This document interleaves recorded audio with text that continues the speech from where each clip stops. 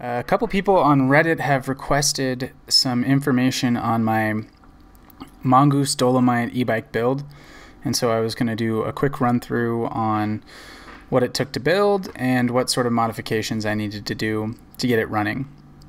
So one thing I'll note, uh, I'm definitely not a bike expert, but I do have some experience doing the basic stuff like putting on and taking off wheels, fixing flat tires, adjusting the chain or the derailleur, stuff like that. So that's sort of my level of comfort. So right off before even getting into the e-bike part of it, the build of the actual bike, it took me a little bit. I bought it from Walmart.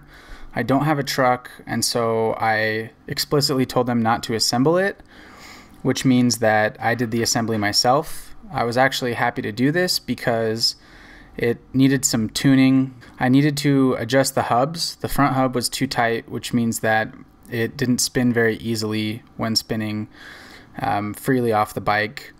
I needed to adjust the brakes a lot, and I actually had to adjust the rear derailleur so that it wasn't clicking or shifting badly. One other thing is that I did ride the bike a few times before converting it just to make sure that everything was smooth. Any bad sounds or grinding or especially trouble shifting will absolutely destroy the cheap drivetrain when you have a 750 watt BBS02 or even more uh, if you use the Luna Hot Rod kit. So the next part, taking off the stock pedal cranks was a nightmare. I mentioned this on Reddit. They were on so tight. I bought a crank puller tool. I think I just got it off eBay or Amazon, but it still took me a while. Uh, the bottom bracket was super easy to take out. The bolts that you know came assembled from the factory were not even tight. They were probably a little bit more than hand tight.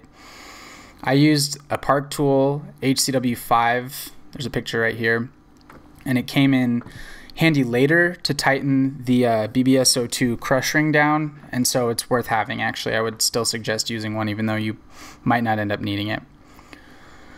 The biggest part here is that the bottom bracket of the Dolomite needed to be ground down so that the BBS02 could fit through. The BBS02 needs about 80 millimeters, probably 75 if you're really pushing it. And the bottom bracket started out around 110, maybe a little bit more than 110. So I had to grind it probably 15 to 20 millimeters on each side. And I actually ground mine all the way down to the chainstay. Once you do this, the BBS02 will slide in just fine, but it actually leads to another minor problem, which is that the stock bracket, which is used to reinforce the BBS02 from flexing, won't fit. If you do slide it on, you won't be able to get the nut, the giant nut on there to tighten it down. And so the solution to this was to use uh, extra large pipe clamps. I bought one from our local hardware store that was about four and a half inches in diameter, and I bought another one that was two inches. I painted them together and then I affixed them like you can see right here. So one loops into the other one. I tightened the one down on the BBS02, swung it up, and then tightened it down onto the frame. And this is actually a really sturdy solution. It, I think it I think it's actually better than the stock BBS02 mounting setup.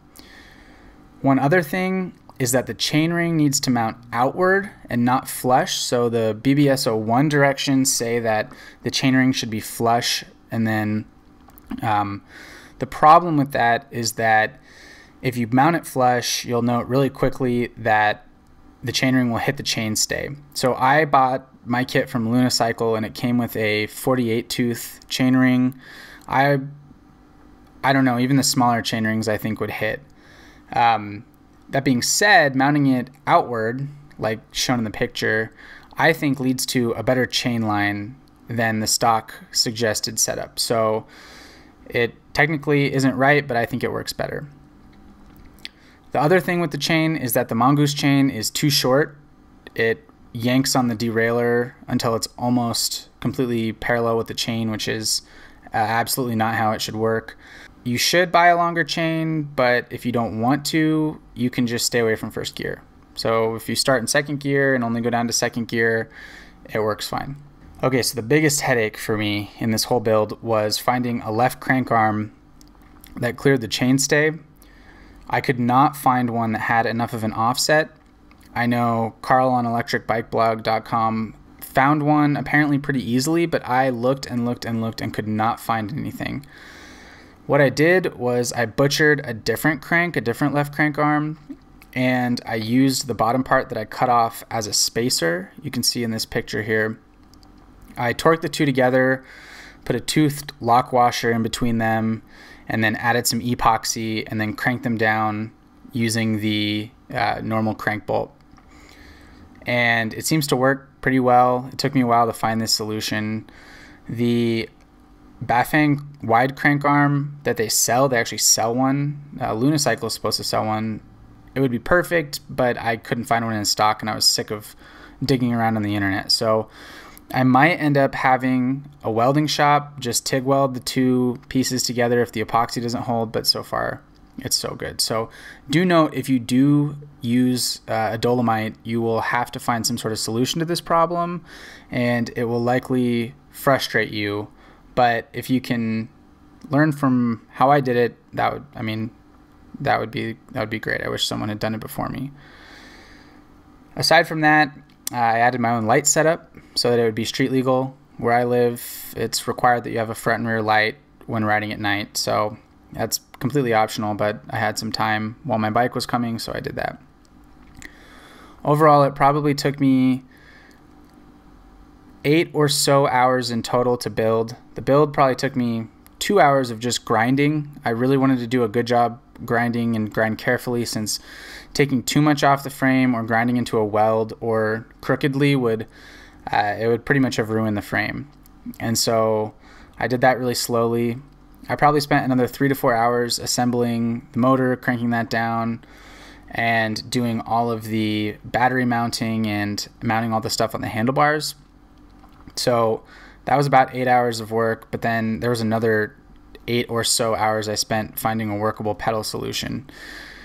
It shouldn't have been that difficult. I was really blowing it off as being simple to find a super offset crank arm, but I just could not find one anywhere. So your mileage may vary. You might have a better better luck than I did. And all in all, I would say that if you're comfortable working slowly, you have to have patience if you're going to do this conversion. And if you're comfortable using basic bike tools, you don't have to be a pro. And if you're comfortable using power tools, so an angle grinder is pretty much 100% necessary in this build, you can you can definitely accomplish this. It'll take you some time.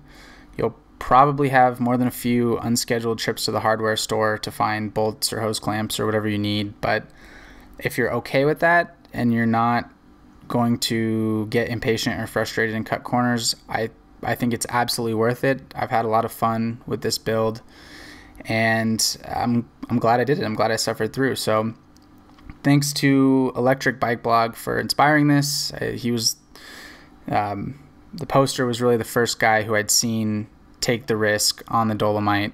And everyone will tell you the bottom bracket's too wide, but with a little bit of perseverance, you can uh, you can solve that. So hopefully, uh, hopefully this was helpful.